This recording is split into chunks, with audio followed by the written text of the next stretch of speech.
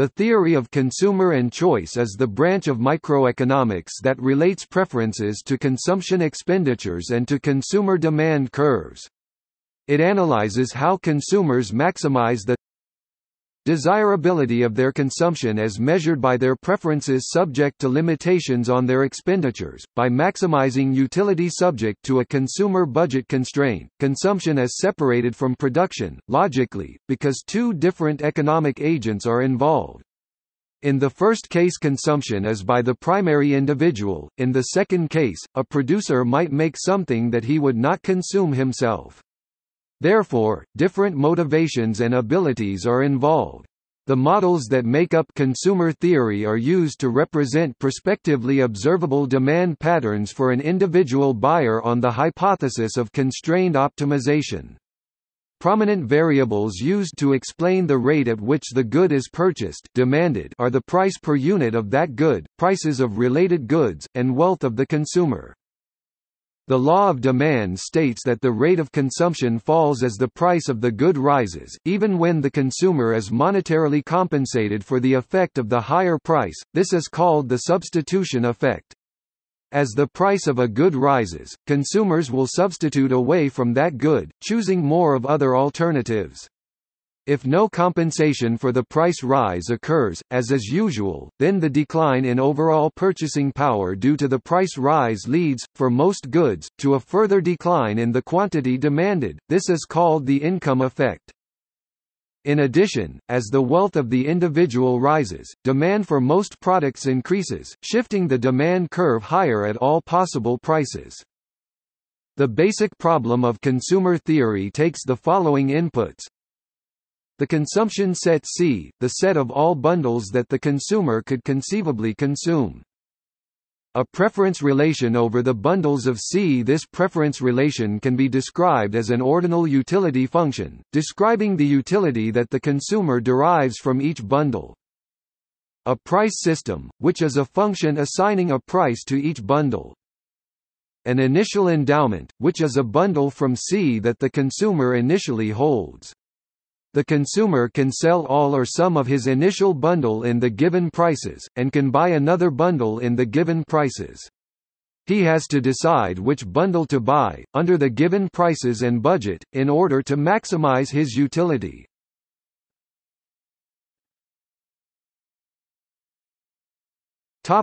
Example, homogeneous divisible goods Consider an economy with two types of homogeneous divisible goods, traditionally called X and Y. The consumption set is R plus two display style R underscore plus caret two i.e. the set of all pairs X Y display style X Y where X 0 display style x geq 0 and y 0 display style y geq 0 each bundle contains a non-negative quantity of good x and a non-negative quantity of good y. A typical preference relation in this universe can be represented by a set of indifference curves. Each curve represents a set of bundles that give the consumer the same utility. A typical utility function is the Cobb-Douglas function. U x y equals x alpha y beta display style u x y equals x caret alpha c dot y caret beta whose indifference curves look like in the figure below. A typical price system assigns a price to each type of good, such that the cost of bundle x y display style x y is x p x plus y p y Display style xp underscore x plus ip underscore y. A typical initial endowment is just a fixed income, which along with the prices implies a budget constraint. The consumer can choose any point on or below the budget constraint line BC in the diagram. This line is downward sloped and linear since it represents the boundary of the inequality x p x plus y p y I N C O M E Display style xp underscore x plus ip underscore y leq mathrm income. In other words, the amount spent on both goods together is less than or equal to the income of the consumer. The consumer will choose the indifference curve with the highest utility that is attainable within his budget constraint. Every point on indifference curve I3 is outside his budget constraint so the best that he can do is the single point on I2 where the latter is tangent to his budget constraint. He will purchase X of good X and Y of good Y. Indifference curve analysis begins with the utility function. The utility function is treated as an index of utility. All that is necessary is that the utility index change as more preferred bundles are consumed. Indifference curves are typically numbered with the number increasing as more preferred bundles are consumed. The numbers have no cardinal significance, for example if three indifference curves are labeled 1, 4, and 16 respectively that means nothing more than the bundles. On. Indifference curve 4 are more preferred than the bundles. On. Indifference curve 1 Income effect and price effect deal with how the change in price of a commodity changes the consumption of the good. The theory of consumer choice examines the trade-offs and decisions people make in their role as consumers as prices and their income changes.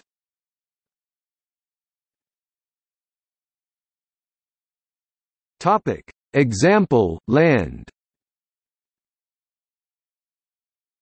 As a second example, consider an economy which consists of a large land estate L. The consumption set as P L display style P L i.e. the set of all subsets of L all land parcels. A typical preference relation in this universe can be represented by a utility function which assigns, to each land parcel, its total fertility the total amount of grain that can be grown in that land. A typical price system assigns a price to each land parcel, based on its area. A typical initial endowment is either a fixed income, or an initial parcel which the consumer can sell and buy another parcel.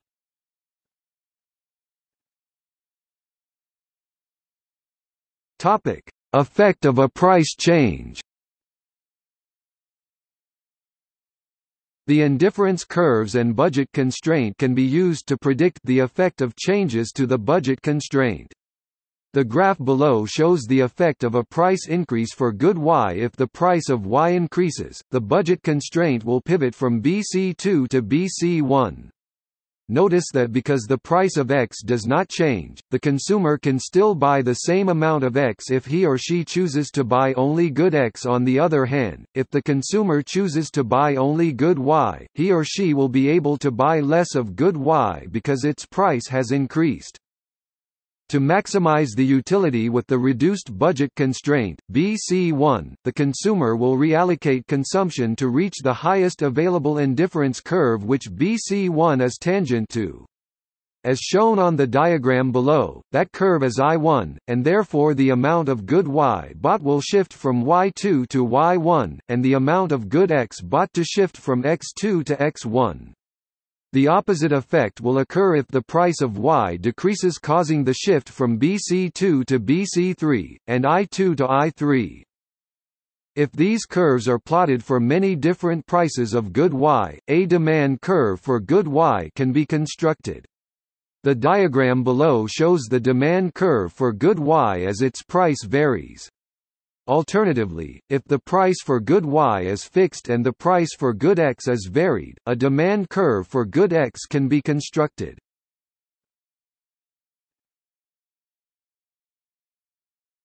Topic: Income effect. Another important item that can change is the money income of the consumer.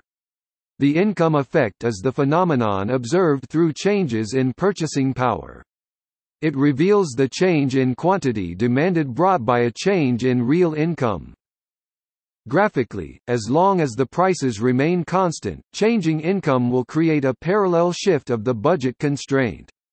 Increasing the income will shift the budget constraint right since more of both can be bought, and decreasing income will shift it left. Depending on the indifference curves, as income increases, the amount purchased of a good can either increase, decrease or stay the same. In the diagram below, good Y is a normal good since the amount purchased increased as the budget constraint shifted from BC1 to the higher income BC2. Good X is an inferior good since the amount bought decreased as the income increases. Delta Y 1 N display style delta Y underscore 1 caret N is the change in the demand for good 1 when we change income from M display style M to M display style m holding the price of good 1 fixed at p 1 display style p underscore 1 delta y 1 n equals y 1 p 1 m minus y 1 p 1 m Display style delta y underscore one caret n equals y underscore one p underscore one m y underscore one p underscore one m.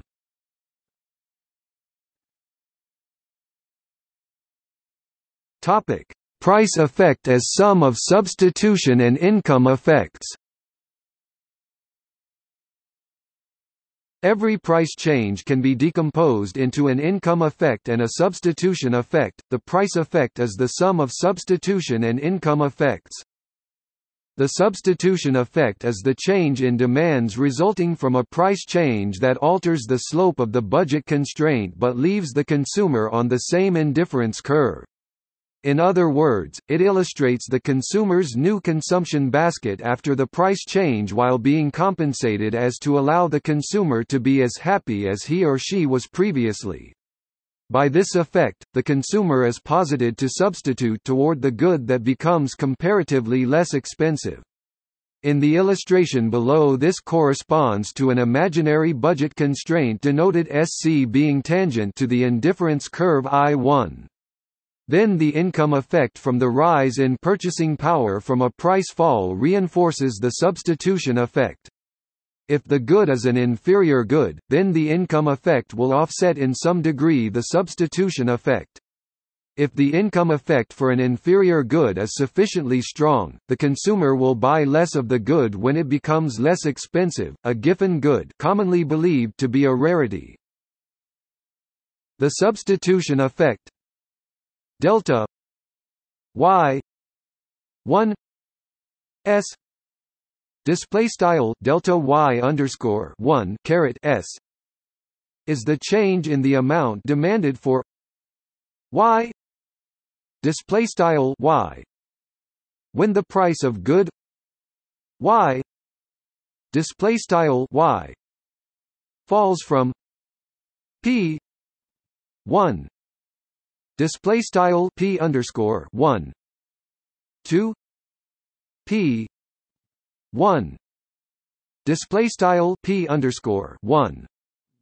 Represented by the budget constraint shifting from BC1 to BC2 and thus increasing purchasing power and, at the same time, the money income falls from M m to m display style m. To keep the consumer at the same level of utility on i 1 display style i 1 delta y 1 s equals y 1 p 1 m minus y 1 p 1 m equals y's y1 display style delta y underscore one caret s equals y underscore one p underscore one m y underscore one p underscore one m equals text y's y one. The substitution effect increases the amount demanded of good y display style y. From y. one.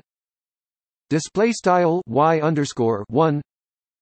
2 y. S. Display style y underscore s. In the diagram. In the example shown, the income effect of the fall in p.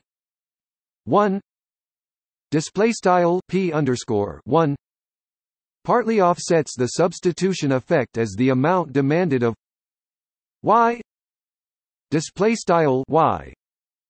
In the absence of an offsetting income change ends up at y 2 display style y underscore 2 Thus the income effect from the rise in purchasing power due to the price drop is that the quantity demanded of y display style y goes from y s display style y underscore s 2 y 2 display style y underscore 2 the total effect of the price drop on quantity demanded is the sum of the substitution effect and the income effect.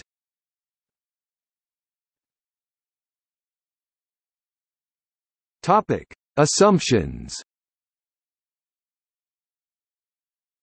The behavioral assumption of the consumer theory proposed herein is that all consumers seek to maximize utility. In the mainstream economics tradition, this activity of maximizing utility has been deemed as the rational behavior of decision makers. More specifically, in the eyes of economists, all consumers seek to maximize a utility function subject to a budgetary constraint. In other words, economists assume that consumers will always choose the best bundle of goods they can afford.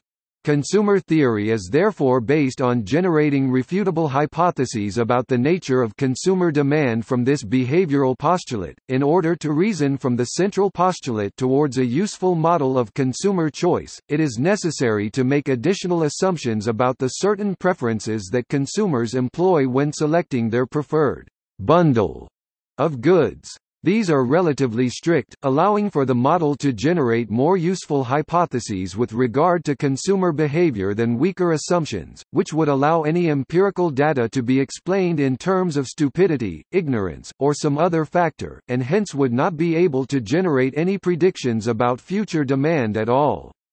For the most part, however, they represent statements which would only be contradicted if a consumer was acting in what was widely regarded as a strange manner. In this vein, the modern form of consumer choice theory assumes preferences are complete. Consumer choice theory is based on the assumption that the consumer fully understands his or her own preferences, allowing for a simple but accurate comparison between any two bundles of good presented. That is to say, it is assumed that if a consumer is presented with two consumption bundles A and B each containing different combinations of N goods, the consumer can unambiguously decide if S he prefers A to B, B to A, or is indifferent to both. The few scenarios where it is possible to imagine that decision-making would be very difficult are thus placed outside the domain of economic analysis. However, discoveries in behavioral economics has found that actual decision-making is affected by various factors, such as whether choices are presented together or separately through the distinction bias, preferences or reflexive means that if A and B are in all respect identical the consumer will consider A to be at least as good as i.e. weakly preferred to B alternatively, the axiom can be modified to read that the consumer is indifferent with regard to A and B preference are transitive. If A is preferred to B and B is preferred to C then A must be preferred to C. This also means that if the consumer is indifferent between A and B and is indifferent between B and C she will be indifferent between A and C. This is the consistency assumption. This assumption eliminates the possibility of intersecting indifference curves. Preferences exhibit non-satiation, this is the more is always better assumption, that in general if a consumer is offered two almost identical bundles A and B, but where B includes more of one particular good, the consumer will choose B. Among other things this assumption precludes circular indifference curves. Non-satiation in this sense is not a necessary but a convenient assumption. It avoids unnecessary complications in the mathematical models. Indifference curves exhibit diminishing marginal rates of substitution. This assumption assures that indifference curves are smooth and convex to the origin. This assumption is implicit in the last assumption. This assumption also set the stage for using techniques of constrained optimization because the shape of the curve assures that the first derivative is negative and the second is positive. The misses tells how much y a person is willing to sacrifice to get one more unit of x. This assumption incorporates the theory of diminishing marginal utility. Goods are available in all quantities, it is assumed that a consumer may choose to purchase any quantity of a good S he desires, for example, 2.6 eggs and 4.23 loaves of bread. Whilst this makes the model less precise, it is generally acknowledged to provide a useful simplification to the calculations involved in consumer choice theory, especially since consumer demand is often examined over a considerable period of time. The more spending rounds are offered, the better approximation the continuous, differentiable function is for its discrete counterpart. Whilst the purchase of 2.6 eggs sounds impossible, an average consumption of 2.6 eggs per day over a month does not. Note the assumptions do not guarantee that the demand curve will be negatively sloped. A positively sloped curve is not inconsistent with the assumptions. Topic: Use value. In Marx's critique of political economy, any labor product has a value and a use value, and if it is traded as a commodity in markets, it additionally has an exchange value, most often expressed as a money price. Marx acknowledges that commodities being traded also have a general utility, implied by the fact that people want them, but he argues that this by itself tells us nothing about the specific character of the economy in which they are produced and sold.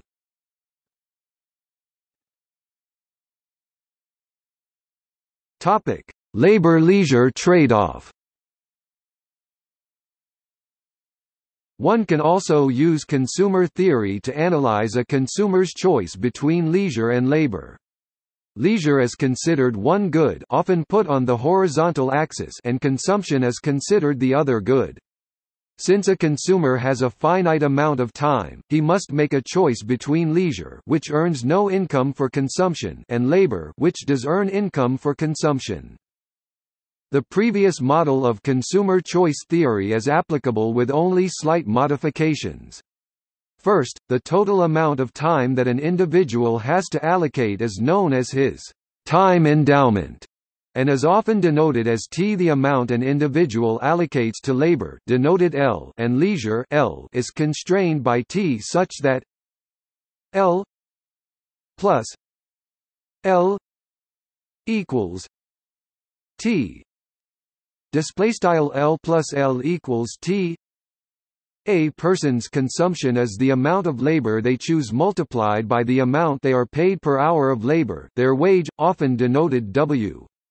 Thus, the amount that a person consumes is C equals W T minus L. Display style C equals W T L when a consumer chooses no leisure L equals 0 display style L equals 0 then T minus L equals T. Display style TL equals T.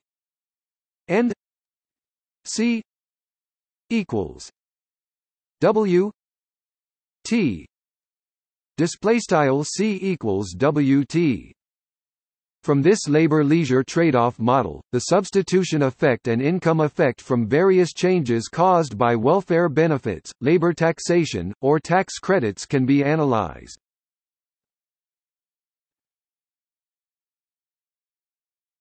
Topic. See also Convex preferences Consumer sovereignty. Consumerism. Important publications in consumer theory. Indifference curves. Microeconomics. Opportunity cost. Producer theory, the dual of consumer theory. Supply and demand. Utility maximization problem